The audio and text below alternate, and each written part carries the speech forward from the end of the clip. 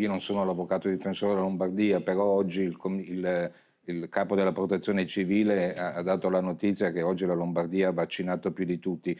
La macchina sicuramente si era un po' ingrippata, eh, sono corsi ai ripari, hanno cambiato uomini, hanno cambiato metodo, però c'è da dire due cose velocissime. Il primo, per esempio, sulle categorie, eh, su, sull'età, eh, cioè in Lombardia ci sono 10 milioni di abitanti quasi, quindi ci sono più insegnanti, più medici, più personale infermeristico, più eh, eh, forze di polizia che avevano diritto di essere vaccinati per primi e c'è un numero maggiore di anziani rispetto alle altre regioni, quindi il ritardo in parte è dovuto a, de a dei problemi che ci sono stati, ma in parte perché parliamo della regione più popolata e, e con la più alta densità di, popolazio di, di popolazione che c'è in Italia.